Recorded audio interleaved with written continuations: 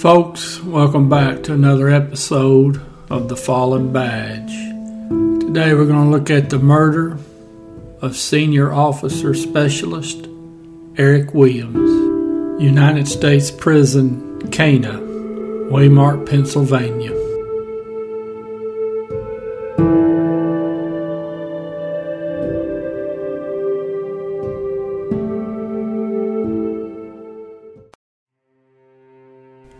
Officer Williams was 34 years old.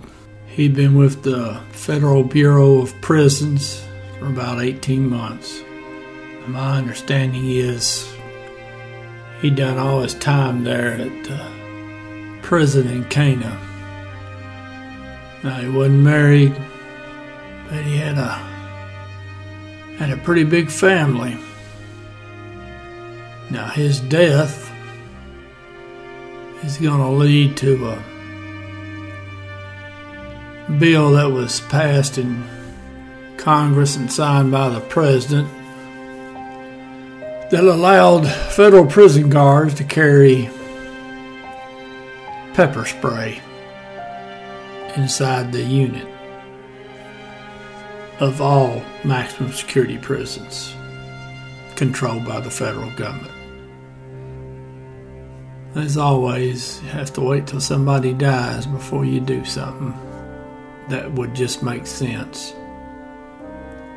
Now, the fellow that uh, is going to be in the center of all this, he's about as bad as they come, or worse. In fact, what he did to Officer Williams is it's so disgusting that uh, I had to read the material several times to make sure I was actually understanding what it was saying. Now, this fella, he had been sentenced to life for a 2002 gang related murder in Arizona. Now, he'd gotten an 11 year sentence in the federal system for cocaine trafficking. My understanding that was the sentence that he was serving at the time of this event. But now he had he had went to prison for auto theft. He'd gotten nailed for being in a conspiracy to murder a police officer that was stopped before it got started. He'd stabbed an inmate while he'd been in prison, beat another one with a metal food tray, and had threatened to kill guards. It's February 25th, 2013. Earlier that day, or maybe the day before, Officer Williams had ordered this inmate have his cell checked.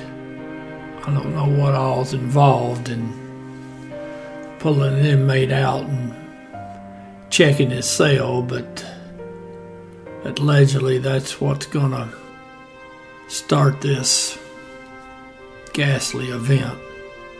Now, Officer Williams, he's walking up a flight of stairs going from what I understand to be the ground floor to the second floor of the cell block he's working. Now, all he's got with him are his keys, a set of handcuffs, and a radio with a panic button. That's it.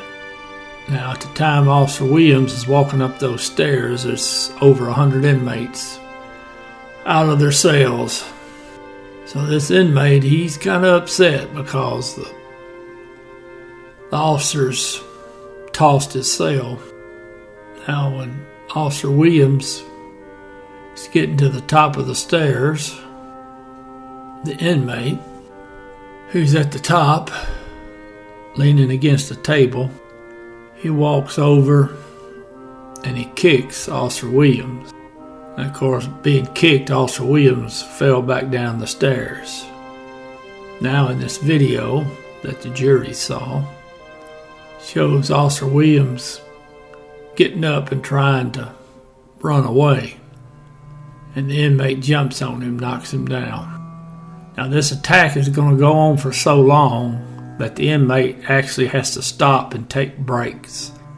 At one time during this, act, the inmate stops what he's doing, puts his foot on a table, and sips a drink that another inmate handed him because the inmate's tired and thirsty from killing Officer Williams. Now, also, this inmate had two shanks. So he kicked and beat and stabbed and punched and stomped Officer Williams. Officer Williams was stabbed 203 times.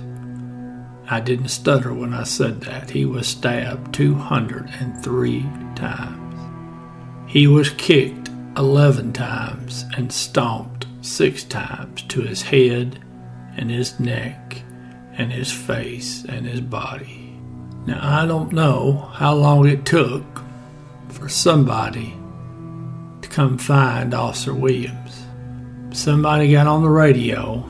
I don't know if it was him. Maybe Officer Williams got on there before he was out of action. Now, the officers that finally got to the cell block described Officer Williams' body as mutilated and unrecognizable. The first officer to find him said I couldn't even recognize his face. And of course, the officers that get there, they have to get all the inmates back into their cells and they have to lock down the block. And then they got to figure out who committed the act. The government's case was the video and then the officers who got to the cell block. And every one of them said Officer Williams was unrecognizable. Now, obviously, the government asked for the death penalty on this case. This inmate was charged in U.S. District Court in the Middle District of Pennsylvania with one count of first degree murder, one count of first degree murder of a U.S. corrections officer, one count of possessing contraband in a prison. Now, this jury of eight women and four men, they saw that video and they heard the testimony.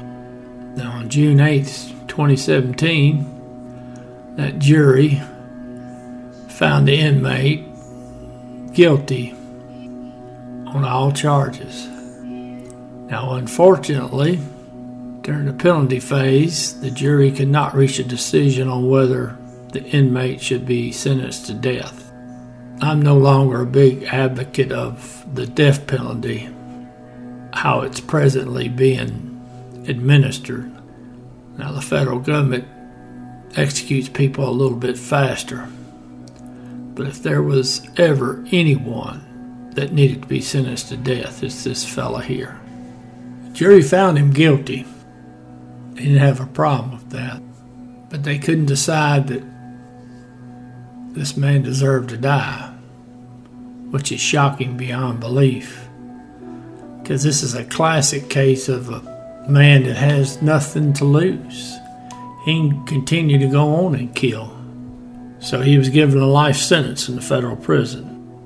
And unless they get him moved to a prison where he's on lockdown 23 hours a day, if he's around any guards, he's certainly a threat to do it again. What are they going to do to him? And what did this jury, what message did they pass along to inmates in prisons?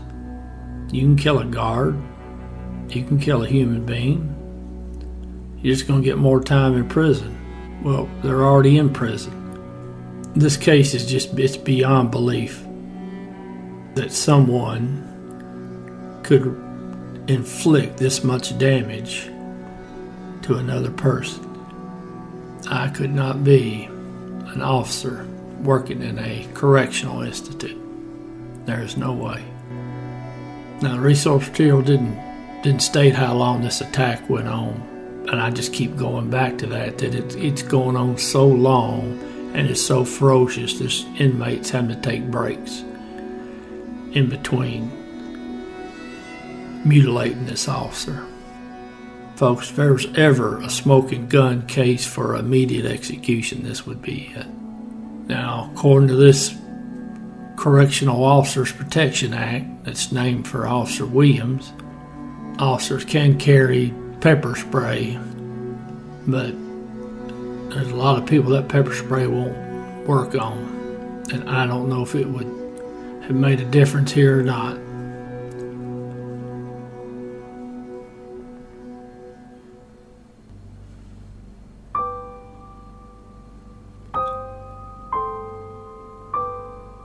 Senior Officer Specialist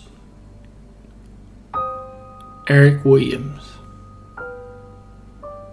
End of watch, February 25th, 2013.